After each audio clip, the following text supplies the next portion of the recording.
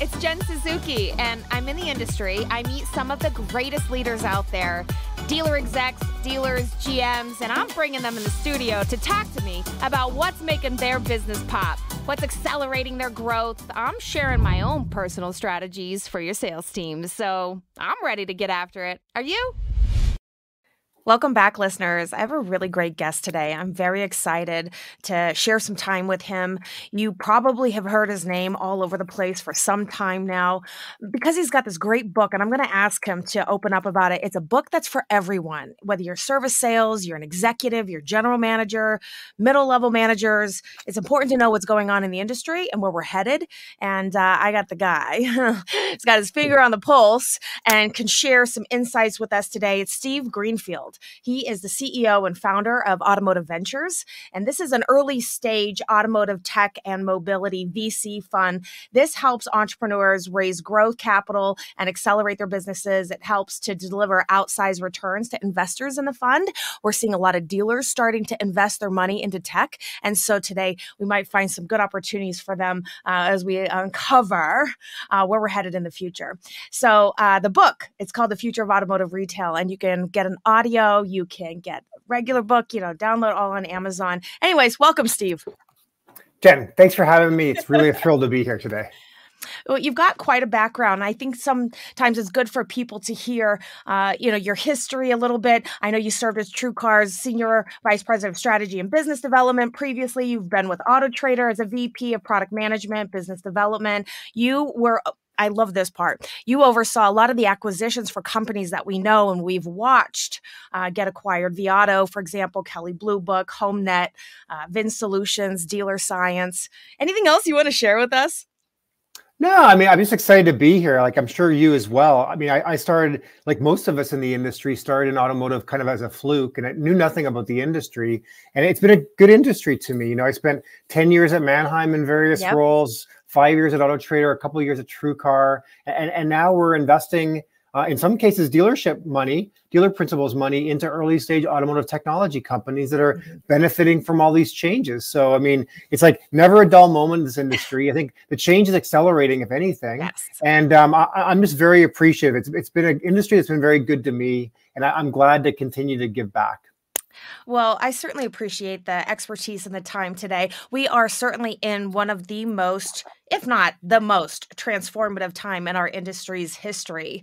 And in your book, The Future of Automotive Retail, you discuss the evolving landscape of the auto, of, of the auto industry. And um, maybe you could give us a glimpse into the future of automotive and tech and what this looks like, how to survive and even thrive given the accelerating pace of change. You might even have some insights for dealers and our teams today. Yeah, I mean, uh, we, we, we can go wherever you'd like today, but you know, I mean, whether it's electrification, which is like top of everybody's mind right now, uh, e- even with the, the, the UAW strike that's mm-hmm. on, but you know, connect co- vehicle connectivity is finally becoming a thing where you know the, the, the automakers are going to build into the cars features that may or may not get activated at the point of sale, or um, conversely, may get activated, and you may find 90 days later when you when you bought a car, they deactivate something like Wi-Fi hotspots or enhanced mm-hmm. navigation packages, and then they come back to you with a bill to say, "Hey, you know, Jen, on, on that vehicle, you're going to have to pay us say 50 or 100 dollars a month if you want it." Um, so it's it's a beautiful world we're moving into because you know you're going to be able to uh, at, at your whim activate more horsepower or more range on your car, mm-hmm. literally by pushing a button on an app.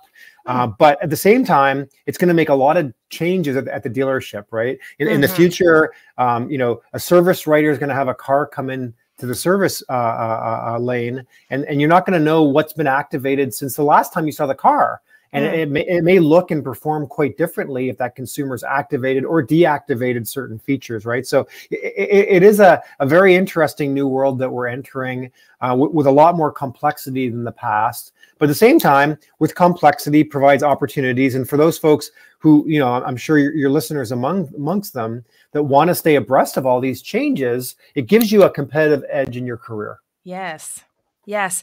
Well, uh, so there's a lot of movement with EV. It's hot on everybody's mind. There's a lot of day supply sitting there in the dealerships, and some people are wondering, is this thing going to take off? And then you've got a, you look at every single position of the manufacturers, and you know they've got they've got minimal uh, models, except Hyundai. Hyundai's got a lot, mm. and and and you look and see Toyota, you know, pump the brakes now the back on. You know, you've got a mm-hmm. lot of different uh, variables to where people's mindsets are and uh, and who's put their foot on the gas, who's going to be in the game. Do you think we're going to lose some manufacturers along the way?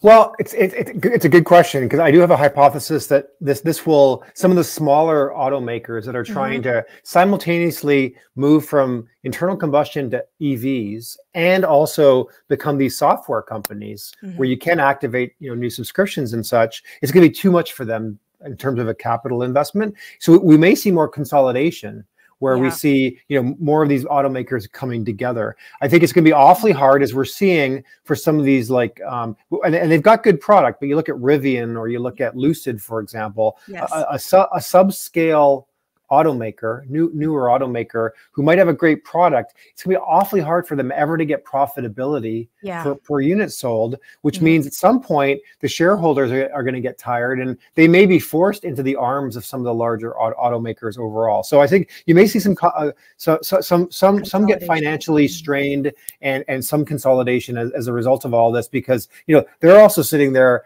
you know, not knowing to your point how quickly the the U.S. consumer is ready to mm-hmm. embrace mm-hmm. electric. Mm-hmm. You know, we, we we've seen very recently here GM back off and mm-hmm. say, you know, they, they, were all in for EVs by 2035, 100% of the portfolio. Right. You're seeing now them back off. So some of the new generation of Stellantis muscle muscle cars were going to be all 100% EV. Now we're getting announcements that they're going to be ICE vehicles. Mm-hmm. And you know, the, the, the consumer right now is is sitting at about 8% uh, mm-hmm. uh, new car sales that are EVs, and but a, a, lot of these legacy automakers, you know, like, like, you said, have already committed to a production line for EVs yes. coming out. So we're going to see 150 new EV models over the next couple of years, and I, I, think we've, we've probably already saturated demand, and we're going to be in, in, a position very quickly of oversupply for EVs, mm-hmm. and then dealers are going to sit there and go, man, you know, the the ICE vehicles continue to sell well, but the EVs are starting to back up. Mm-hmm.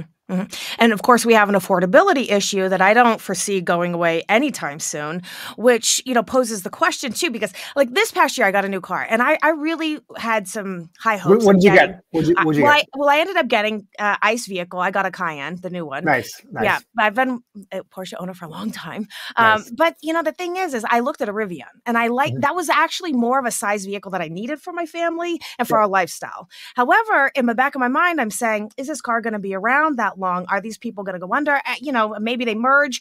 I don't know, but it, there was a lot of uncertainty along with the price tag on that thing. I mean, that is that that is 100% a luxury car. In fact, yep. most EVs are in a luxury bracket. We're having yep. a lot of problems between 50 and 80k moving those cars. That a lot of these cars fall within that bracket. And then you look at China and what happened with China. You know, eh, you Tesla goes in there, drops the prices, drop the prices here, you know, and can do that and take market share. And I think that it's telling, in my opinion, you know, with with China and, and the pickup uh, and and and the fast pace um, that they've embraced EV. What do you th- what do you think? Yeah, so I, I think yeah, China definitely was way ahead of the curve. Yeah, made a lot, lot of investments, not only in, in the you know, battery production and the raw ingredients that go into batteries, but also mm-hmm. they're they're way ahead in terms of like EV technology. Um, I think what we've seen, for example, you know, with with a company called Geely, that mm-hmm. owns uh, Polestar and Volvo. Mm-hmm. I mean, they, have been able to get a Chinese vehicle. The Polestars are made in China and the Volvos are made in China. Mm-hmm. Get those into onto U.S. soil. Uh, the Inflation Reduction Act, right, is um, mm-hmm. ha- has prevented the Chinese from coming in and selling cheaper vehicles here in the U.S. But I mm-hmm. think what you're, you're going to start to see is you're going to see the, the, legacy automakers are going to hedge their bets and they'll start okay. to make minority investments in some of the Chinese automakers mm-hmm. which will allow them, like Polestar and Volvo have done, to get mm-hmm. some of these cheaper, well made, but cheaper Chinese competitors onto US soil, probably with you know a Stellantis logo on, on it. You know, okay. um, but it, will be very interesting to see. But I think it's inevitable that we're going to have more of these Chinese OEMs come onto American mm-hmm. soil. You saw recently, you know, VinFast is yes. now, which comes out of Vietnam, is embrace the dealer model. Yes. They, they weren't, they were going to sell mm-hmm. direct, but now they're embracing a dealer model. So it seems. So you're, you're going to see more of these foreign automakers coming into the US. Mm-hmm. So we're going to even more choice for the consumer, which is great, mm-hmm. but more competition mm-hmm. for you know um, um, mind share and you know carving up a, a limited market into more pie slices Mm-hmm. Which I always tell salespeople and management. I'm always like, you know, even though you only have a couple vehicles in the lineup, you better get switched on, stay switched on, stay connected to what's evolving and what's out there because the customers are going to get savvy. And you never know, this thing could hit, you know, in, the drop of a dime. And who knows? I mean, you want to stay on top of what's happened in the past and know where we're headed in the future. And this is going to help even sell cars because we're not paying a, a lot of attention to EVs because there's not a lot of them out there. And but knowing is always half the battle. Well, listen, 10 years ago, we, we worried that the consumer would come in with more knowledge than the salesperson. Yeah. And now it's even worse because now you got to worry about electric drivetrains. And like, oh, what about these new Vietnamese cars that are coming in, et cetera? So, yeah, to your point, I mean, the, the salesperson and the service folks need to be mm-hmm. equipped with more knowledge than ever. And it's just hard to stay on top of all of this because the news cycle is changing every single week. Yeah. Yeah. Uh, well, a lot of major changes and advancements in auto tech right now. And I'm wondering what you foresee in the next five, ten years. What's going to Well, short term, you know, I, I, and I've said this before, but I think that, you know, as we go into like, you know, the, the convention cycle next year and NADA mm-hmm. and in early February, I think we're going to have a lot of buzz around AI.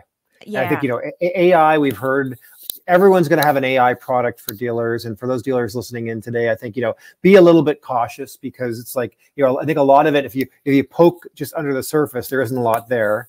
Um, mm-hmm. But I think that, you know, bringing AI into, if, you, if you've played around with any of these, these latest mm-hmm. AI technologies, there's, there's opportunity there to, to make, you know, uh, our, our, employees, wh- whether you're on the variable ops side or the fixed ops side, to be mm-hmm. much more efficient and effective with consumer interaction and productivity, et cetera. Mm-hmm. And um, I'll, I'll, be interested to see, you know, which products really break through in terms mm. of NAD in the short term. Longer term, you know, I, am really interested in in um, you know dealers looking at their cost structure okay. and saying, well, I guess I, will give you background. So I've been in, in the industry for like 25 years and, you know, almost everything, all the innovation has been on like the variable ops side and mm-hmm. trying to help dealers sell additional vehicles. Mm-hmm. There's been some innovation on fixed ops, but not a ton, yet. but almost all of the innovations are always around like, how do I get an additional customer? have them spend more, et cetera. Mm-hmm. Almost none of the innovation has been around the cost structure.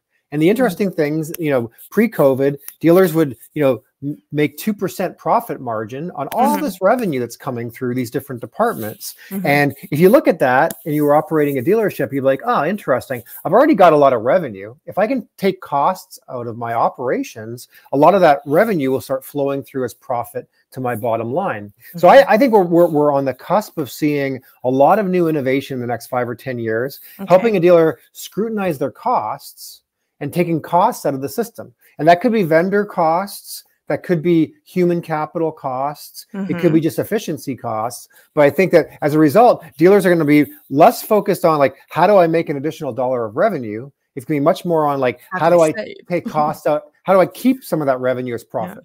Yeah. Okay. Okay. All right. So we're, we're, we're going keep our eyes open at NADA show this year. There should be a lot of new emerging techs out there. Let's uh-huh. hope so. yeah.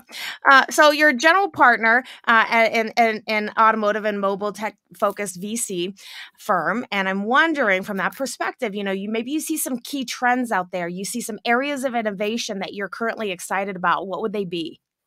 Yeah, so in, in the same vein, you know, the same conversation, uh, we're really big on on process automation, and I wouldn't even call it AI. But you know, okay. one of the companies that we invested in, that's one of the more exciting companies, is a company called WarrCloud, mm. and it's just it's automating warranty processing for dealers back to the OEMs. Mm-hmm. So this process typically in the past was a, a manual process. You'd have a clerk who sat there and you know at the end of each day would gather all the the the the the, the, the, the claims that would co- have come in and have you know um, process those by pushing those off to the OEM so the dealer can get paid. And um, you know, the WarrCloud is automating all of that, so dealers get paid quicker. Mm-hmm. There are less errors made, and there's an audit trail overall. So they save costs and they make more revenue and they get paid quicker. So it's kind of a no brainer. And, you know, if you and I went, and, and I know you spend a lot of time at dealerships, but mm-hmm. if you mm-hmm. walk around a dealership, mm-hmm. there's a lot of people who are, who are doing repetitive tasks in yeah. front of a D- DMS or a CRM screen. Mm-hmm. And you look at those tasks, he's like, well, if you had a magic button that could automatically do that for that person, then they could be freed up to do more higher value things. Yes. And wh- whether it's in the BDC or you know mm-hmm. in, the, in, this in the ser- service department, I mean, there's a lot of uh, um, processes that are very manual today. Even mm-hmm. paperwork, like look at the amount of paper that's still being pushed around. Mm-hmm. You know, in in this day and age, you'd think that all of that would get replaced with just electronic forms, but it not mm-hmm. So title processing, et cetera, is very very manual and very mm-hmm uh, labor intensive and very paper intensive. And I think what we'll see over the next five or 10 years is a lot of innovation. So we're looking for companies that are going to help dealers, like, like I said earlier, take costs out yeah. but also look at their processes and just make them much more efficient. And I think mm-hmm. it's going to be easier than to hire people at dealerships because mm-hmm. they're going to get more excited that there's not all these repetitive tasks that are mm-hmm. mundane mm-hmm. and also free people up to do higher value things to either help that dealer make more money or save more in, in costs. Mm. Great focal points. Um, you're right. I mean, I can think even just in the work that I do in dealerships, which is working a lot through the CRM and um, and prospecting, taking sales calls. You know, there's a lot of emails and a lot of text messages, and we're seeing some sort of automation. Yet the technology is still lacking because it doesn't exactly line up to what the customer's asking you. Right. You could really miss the mark on on some of that. But at the end of the day, you see a lot of these technologies starting to go in there and automate responding, sending out follow ups, you know, checking in with customers and staying connected. Yeah. Uh, yet I still think we got a long ways to go a long ways to go, which is good because there's a lot of opportunity for any entrepreneur out there who mm-hmm. wants to look at all these inefficiencies mm-hmm. and try to create solutions for those things. Okay. Yeah. So you've got traditional automotive retailers and um, they've got to adapt and they've got to stay relevant in the face of all of these emerging technologies and, and, uh, and changing consumer preferences. So how can these guys stay current stay relevant? Like how how do you adapt? And what kind of recommendations do you put out there? Because look a lot of times people don't really want to look for new stuff because they're happy with the process that they're in. Doesn't matter if it's working or not it's working it's what we always knew. And change is never easy for anybody. Right. got some yeah. got some suggestions? Because you've started to see it working in other stores. You've seen them make some big changes. We've we've we've done this before. You know put in a dms put in a crm change a crm yeah, I, I think that um, following people like you, um, for example, are, are, probably the best way to, to filter through all of the information. Right now, there's an overwhelming amount of information out there, right? So mm. you, you could literally spend your entire workday just reading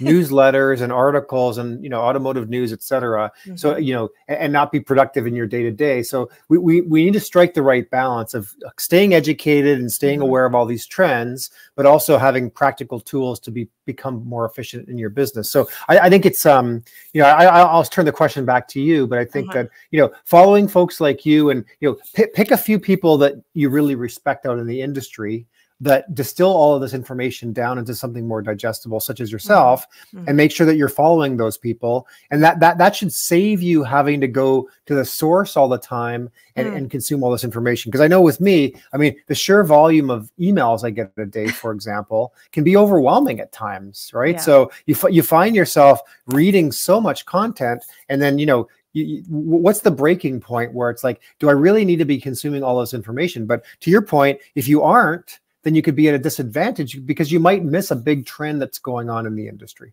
Mm-hmm. And I think you're always trying to stay on top of everything, but there's so many different things happening. And I do feel that we are seeing fast growth and every angle uh, and and you want to stay on top of this stuff because you don't want to get dated and you don't want to miss an opportunity. And a lot of times you know the dealers that i work with they're always looking to expand. You know i've never seen so many of my clients soak up another dealership in my life in the last three years. And right. and i said okay you know i don't know i it's not my wheelhouse to say if an agency model is the future. Is that even is it possible? Um, but I think on these terms for them and think, okay, well, what's your you got another? You know, what what are you investing in? You know, and and and investing in tech for me, uh, even personally, uh, it for me that's that's the priority. I'm always looking for something that could help me uh, have it have have my my backup plan, have another plan, have another arm, have another right, right, right. have another revenue. And go. So I'm just wanting, you know, so you might even see things that are outside of automotive, but I'm looking to spend my money, and I'm not going to acquire another dealership, or maybe I might be worried about what it's going to entail to maintain a dealership going forward. What sort of thing? I, and I know you mentioned this already. You're like look for look for efficient look for inefficiencies um, and and technology, and keep your eyes open on what AI is going to be able to do as it becomes more improved.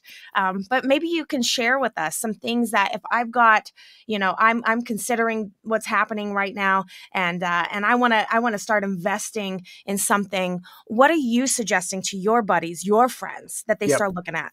Yeah, so my advice would be, you know, twofold. One is invest in things you understand, which mm. sounds very much like, you know, Warren Buffett. But you know, mm-hmm. don't, don't if you're in the automotive space, don't start investing in things like with in healthcare right? Mm-hmm. Or, or, or Bitcoin potentially, or whatever it might be. I mean, in, or, or, unless it's applied to the an automotive use case. And I think that um, you tr- try to find things that you intuitively can look at and say, does this make sense given my my knowledge base? And then the mm-hmm. beautiful thing about dealers is we, we I mean, everyone has a very unique um, perspective. So you know you could leverage that into investments. And then the second thing is just a little bit on diversification because mm-hmm. I see I see folks that make one or two bets on yeah. early stage companies and then they're mm-hmm. really disappointed when early stage companies those, they don't make it they don't make it or, or, or, they fold and the truth is in early stage you, mm-hmm. you can expect that half the companies are going to not make it mm-hmm. so it, it's just very volatile the, the ones that make it can make it really really big mm-hmm. but you, you need to play a little bit of a numbers game and not put all of your eggs so to speak in one in one basket so i, I would say it's one of the reasons that we launched an investment club um, mm-hmm. here about a, a, year ago, and we've now had I think five five investments that were made out of that. Is to allow folks who want to leverage what they know. We, we find automotive related technology companies, and um, then we present them to our members. And if people are interested, they can invest directly. So mm-hmm. allow us to do all the due diligence to make sure that the company checks out and the investment makes sense, mm-hmm. and then and then make investments. But wh- whatever it is, there's all kinds of different crowdsourcing sites now and mm-hmm. investment club sites that you can join. Mm-hmm. Um, so I would encourage you to do so, but also just try to keep it close to home. Yeah. Keep it close to something that you understand that you can, you can make sense of. Because otherwise, you can see something with a great story, but mm-hmm. you have no way of, of, of discriminating around whether this is a good or bad idea, mm-hmm. unless it's something close to home, something near automotive. Okay. Okay. Good advice. So I got to ask you, you've got 24 companies, maybe more in your portfolio? 26 now. 26. Tw 26. Congratulations. And um, and Thank many you. of these companies, you know, we've watched emerge. Uh, VinCue, for for example, got yep. my eyes on them. Good. good. And uh, yeah, right. So um, uh, for, for from your perspective, I'm curious. When you look at these companies, and I'm sure there's a million zillion of them out there, you know what what stands out for you as a good company to look into being a part of and to partner with? What are you really looking for outside of what they're bringing to the table, their product features? Yeah, it's a great question. So we, we look at about 50 to 60 companies a month, if you can believe that. And wow. I, I, would say the recurring thing are really th- three things that we look look for in companies at, at an early stage. One is the most important thing is the entrepreneur. Okay.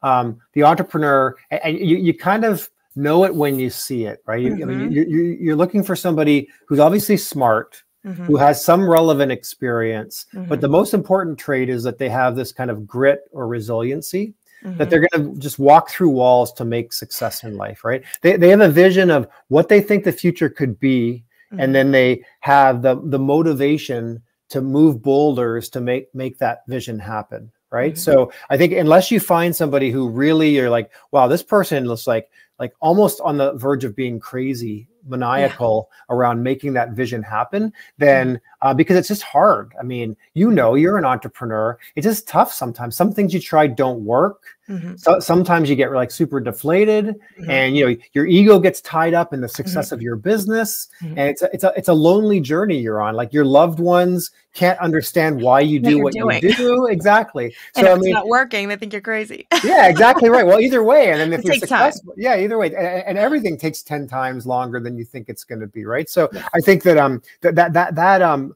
the way that the entrepreneur is wired is the most important thing. The, the other two things we look for is a large addressable market. So okay. if you're if you're going to go like try to like kill a dragon, make sure the dragon's really big, right? we don't want them killing baby dragons. No offense to dragons, but you know, you you, you want to make sure that if they if they are successful, there's enough opportunity. It's a big opportunity, mm-hmm. right? Because you sometimes see great entrepreneurs, but when mm-hmm. when they're, they're chasing an idea that even if they're super successful, it's going to be mm-hmm. like a small outcome. Like, why bother? Right? If you're going to go after things, go after big things. And then mm-hmm. the, the last is have some sort of unique approach or what I would call like defensibility and it mm-hmm. doesn't even need to be something now, but you know, when I'm talking to an entrepreneur, I'm like, what's going to prevent? Let, let's talk about our industry, right? Yeah. So you have, you, you have some usual suspects. You've got the Cox Automotives, the mm-hmm. Reynolds and Reynolds, and mm-hmm. the, the CDKs mm-hmm. that have, for all intents and purposes, unlimited budgets to do things. Right. So my my question for an automotive technology um, entrepreneur would be, okay, great. So let's say a year from now you go to NADA, you're signing up dealers, mm-hmm. and the, the, the the CDK Reynolds or Cox people come over to your booth and they, they look at what you're doing they're like, oh, that's pretty interesting. We're going to go do the same thing. Mm-hmm. How are you going to answer that? Like you're gonna be like, no, sorry, I, I have secret sauce. Mm-hmm. I have something you cannot replicate. Mm-hmm. So, and that might not be something they have now, but they need to be able to communicate to me how within two, three, four years they're going to start to build up a defensible barrier around the mm-hmm. business where mm-hmm. no matter who looks at this thing and tries to reverse engineer it they can't they don't have the coca-cola formula or whatever mm-hmm. that might be so i think you know coming back to your question if you have all three of those you have a mm-hmm. great entrepreneur who's going to be able to think big and move boulders to get there Mm-hmm. You have they're going after a really big idea, a big mm-hmm. dragon to go kill, mm-hmm. and they have they have some way of building a defensible moat mm. around the business. It's going to prevent big bigger companies from attacking them. Mm-hmm. and just reverse engineering what they're doing, then we should have a conversation. Because then I'm interested in all the other stuff. You know, where are they what the product is or whatever but you know mm. if i can get in the first 30 minutes an understanding of those three things mm. that, then it allows me to understand like okay now you know you, you you've anteed up for the poker game you're, you're ready mm-hmm. to go have a deeper dive into the company if you can't check those three boxes then frankly it's like i'm not really interested Mm. Thank you for that. That I I love this. I I think it's good to it's nice to see like, you know, from your perspective what you look for because we are going to see a lot of companies out there and we all are going to see our eyes on it and and people want to invest and they want to make money right. There's there is a formula to there this, formula. especially if you're not in the tech world. You're a dealer. You're, you know, you're you're just, you know, an average person. Like you're looking at this business saying, all right, you know, do have these things in place. There's going to be a lot of challenges for these startups. There's going to be a lot of obstacles that they face, and you've got a big portfolio. What are some of the big challenges that you see more commonly, and how do they overcome them? Yeah, so the biggest challenge is running out of cash. So I yeah. think that especially in this environment here where, you know, we've had really inflated valuations and now they've come back down to earth and it's a more much more challenging environment for an entrepreneur to go then raise subsequent money. I think that, you know, a lot of um, um, um, belt tightening has had to happen with entrepreneurs and they've had to say, look, I need to cut costs and just mm-hmm. like survive longer. I just can't be burning as much money as I was before because it's not a great environment to be raising money. So I think that you know the uh, and I, have heard this is a little cliche, but you know the CEO's number one job is to not run out of money. you run out of money and you're done. So it's like death. And you can't pay employees, and you got to wind down the company. So that, that's the most important thing overall, and the biggest challenge. Um, but you know, the the other is it's it's it's it's is the pace of change going on right now things are changing as we started the conversation today so quickly that it's you know it's providing all kinds of opportunities, but the the the, the ball is moving very quickly and and to track the ball on the playing mm-hmm. field is becoming harder because things are progressing really quickly competition is really mm-hmm. really fierce in every single area mm-hmm. and it's just you know you got to be on you know very smart and you got to be aggressive and you got to be on your your best game every day to continue to move that ball forward because otherwise you know you'll have competitors nipping at your heels mm which is always good, I suppose. Keeps us on our game. It does. Yeah. uh, well, we've got a lot of talk around EVs, um, autonomous driving. Uh, we see, I, actually, we see. I'm seeing a lot of autonomous driving on the road with Uber. Um, but what do you think is going to be the biggest opportunities and challenges for the auto industry as a whole? Yeah, so I think autonomous has been overblown five, ten years ago. You know, half the cars by now were going to be fully autonomous, and everyone was going to be just summoning autonomous cars to show up. And it hasn't played out, and I, I, don't think it will play out. I mean, you see Waymo and Cruise mm-hmm. testing these specifically in, in, San Francisco and down in, in Phoenix, but I think that um, we still got a, a long way to go before we're going to see full autonomy on, on, on the road. Um, so, which is good for, for, for dealers, frankly. People are going to continue to buy cars and own cars, mm-hmm. and um, you know there'll, there'll be all kinds of technology within cars, which makes repairing harder and insurance premiums are going to go up and these kinds of things mm-hmm. because the, the, cars are going to be much more expensive to repair and replace. But at the same time, full, full autonomy isn't going to be a thing. I think, like you said, um, electric, I think there's going to always be an appetite for electric vehicles. Mm-hmm. I think many of the, the automakers were overly optimistic with how big a market there was going to be. I think mm-hmm. we're going to level out at my guess is somewhere around 20%, one in 5 mm. cars will be electric and the rest will be either hybrids and or you know ice vehicles mm-hmm. um, for my lifetime anyway mm-hmm. and then you know i think that um that the challenges are really around how, things are going to progress and like i said i mean one of the biggest things that's going to affect dealers like almost right away is this mm-hmm. like unbundling of the features so mm. a lot, like we said earlier a lot of these features are going to get built into the car the mm-hmm. consumer at point of purchase may or may not elect to unlock the rear heated seats mm-hmm. and they're going to be in the car but that can that consumer may be driving around with a car that's better equipped than they've unlocked and then they may never do it but the, the next owner um, mm. may, may, may unlock decide, the features may unlock the features and pay, mm. pay to unlock those features so that, that it's to be a very interesting thing you know the use case i always talk about is like you know the poor used car appraiser who's taking yeah. a trade in. You, know, you, you take in your Cayenne. on, which one's off? Well, no, the, the problem is going to be say say you you've got your Porsche and you go in and you've unlocked all these features and, and you get this fully equipped vehicle, mm-hmm. and the appraiser is going to look at it and go, "Wow, this this Cayenne's awesome." And then you, you go home you go home after you trade it in and you deactivate all those features because you're like, I'm not paying for them anymore. I'm going to mm. deactivate them. Mm-hmm. And then the next day, when they test drive that kind, it, it, performs very different, less horsepower, less range, less in-cabin experiences. So it's like, okay, so, so th- then how, how does that salesperson test drive that that that used vehicle, and mm-hmm. how do mm-hmm. they make sure that they're actually paying you the right amount given the content that's on that vehicle? So we're entering a brave new world here mm. where it's mm. going to be much more complex in terms of appraising vehicles and selling vehicles where you know effectively the, the buyer is going to be able to toggle on or toggle off a bunch of features. Mm. Speaking of that, that just really in, put my head into a spin. I'm thinking about this and uh, from two different angles, two different aspects too.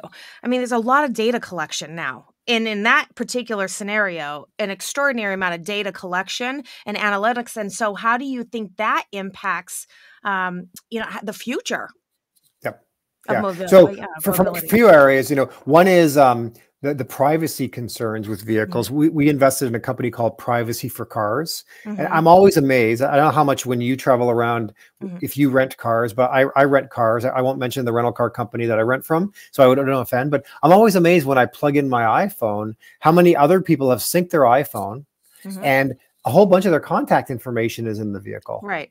And you know, when people trade in vehicles, mm-hmm. your garage, your garage door code is in that vehicle. and not many people think, hey, can you wipe that off? So, you know, we invest in a company called Privacy4Cars that does that. But you know, this this has become a bigger hmm. issue overall. Is like the amount of private uh, private information um, that is in the car yeah. at the time of sale, you're going to want to make sure that that's wiped off the, the vehicle overall. So there's that. I also think the car is going to get smarter. They're going to know where you drive and what yes. your preferences are, et cetera, which is going to be a, a super convenient for, convenience for you. But think about you know servicing a car in the future. Your your Cayenne is going to say, "Hey, Jen, you're down to ten percent left on your brake pads. Mm-hmm. You know, um, mm-hmm. here here are the three closest dealerships, mm-hmm. and the, mm-hmm. the, specials that are are are, are, are um, they're willing to give you to come in and get your brake pads re- um, f- fixed or, or, replaced. And um, so it's going to be less around the dealer that sold you the car and then mm, following up out of their CRM, the car itself is going to present you options on the main dash. Mm-hmm. You know, right now you I have tire pressure monitors in my vehicle. Right. I, I do not have tire wear monitors, but right. we're going to have that in the future. Sure. So you're going to see literally on a day by day basis how much wear is left on your tires, mm-hmm. and when it gets to a certain threshold, you're going to start getting offers on your dash to get your tires replaced and, and, it's going it's going to happen very quickly here so mm-hmm. the predictive analytics around you know which key components in your car are going to fail sooner mm. coupled with the in-dash experience to push to you specials um, and again the dealers this could be great for dealers that stay on top of all of this mm-hmm. but for a dealer that isn't pretty technology savvy they're going to be losing out because other dealers are going to try to intercept you and mm-hmm. encourage you to go in to get your tires changed at a different dealership Hmm. Which always, you know, we're always threatened by loyalty, as right. is.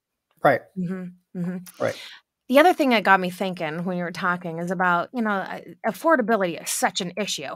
I deal with it every single day with salespeople, um, and is you know we've had an impact on availability and what what kind of options are out there, and we've had highs and lows, but that also impacts a lot of things and what people end up with. And um, and I see that range uh, and some of my colleagues have stated 50 to 80K uh, is really um, a, a, pain point right now to move those cars. Mm-hmm. And I look at EV and the initiatives and the hopes and dreams, um, you know, of our government and, uh, and manufacturers even.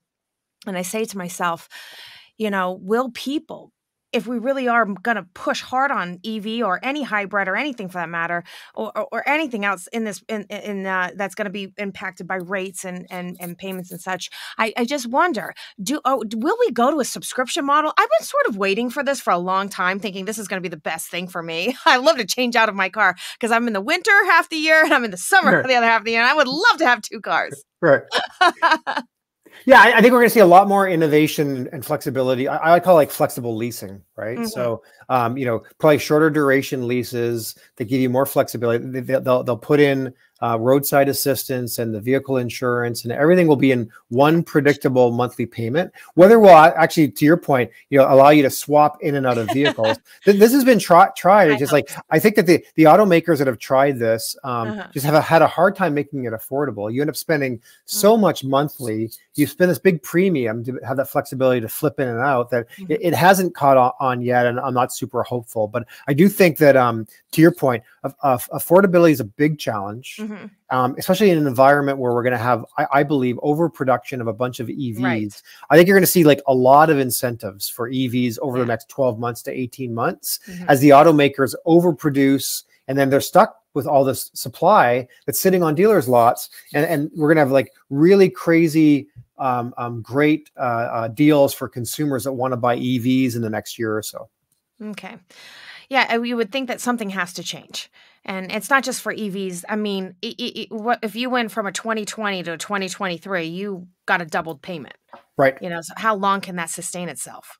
Exactly right, and which is going to keep a lot of people in their existing cars longer because mm-hmm. they like home ownership now too. I mean, people who have a three percent mortgage do not mm-hmm. want to sell and then Mm-mm. get a seven percent mortgage. So it's the same thing with car ownership right now. I think people are going to be holding their cars longer, which is great for fixed ops because yep. people are going to need to get those cars serviced. Mm-hmm. Uh, but I think in terms of sales, it, it could crimp car sales because there just is a, a big affordability problem. Hmm. Well, I'll tell you, you've given us a whole lot, and there's going to be a lot of entrepreneurs out here listening. For our entrepreneurs looking to attract investment in the automotive and mobility technology sector, what advice would you give them in terms of positioning their company and presenting their value prop? Yeah, so it's a good question. I think coming back to the conversation around, you know, how do how would an investor look at you? Mm. Um, I think that you know they, they do look at investing in the, the, right jockey, right? The right jockey that's riding the horse, right? Okay. Um, it's re- very important to be very reflective and say like, how is someone going to perceive me? I think go after big dragons, like I said, really big gotcha. ideas okay. because they want to hear that too, and then make sure that you've re- really thought around like, how am I going to build a def- defensible moat around the business? Mm. Um, in terms of the, the value prop, I mean, especially uh, we'll, we'll, talk about you know some something that comes close to home and you'll appreciate this i mean the number of dealers that i talk about that don't even take uh, vendor meetings any longer yeah because they just get inundated right mm-hmm.